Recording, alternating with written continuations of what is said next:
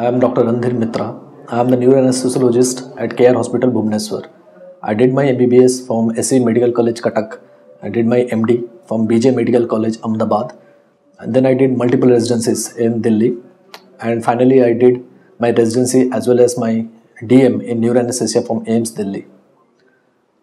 Anesthesia has evolved a lot over the years because of the complexities that come with the evolution of surgery.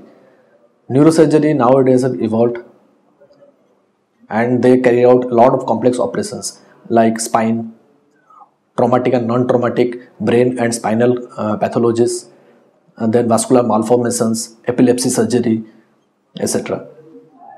For all of these surgeries, we tailor anesthesia according to the type of complexity. It is not the same for each case. Our understanding of the neurosurgical pathologies have also improved. Now we can give those anesthesia, the type of anesthesia where we use complex monitors like somatosensory evoked potential or motor evoked potential to delineate the normal areas from areas of pathology. For we want to preserve those areas which are functionally intact so that whenever the neurosurgeon operates a case, he can only take out the pathological part and we will maintain near normal physiology in the non-pathological part and the patient can have a very good improved outcome. Apart from the normal anesthetic uh, techniques that we use in routine surgeries, including vital monitoring, type of agent, apart from that we also use very specific monitors pertaining to the type of neurosurgery.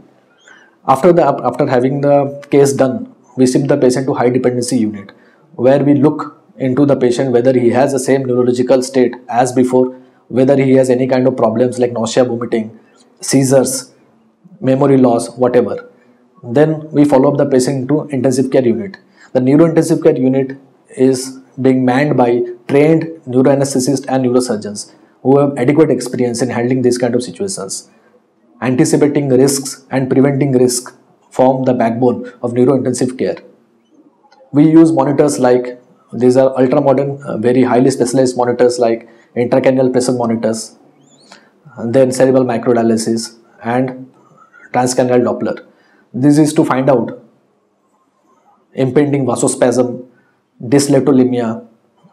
You know, uh, when uh, a part of the brain goes into a pathological state, we can intervene before if we know that the part of the brain is going into a pathological state. And these monitors help to find out find it out. Apart from that when the patient is discharged we look into the problems that the patient generally have like pain and then uh, changes in the neurological state. We always follow up the patient in the post-operative period also. And we ensure that the patient has a smooth transition from the disease state to the cured state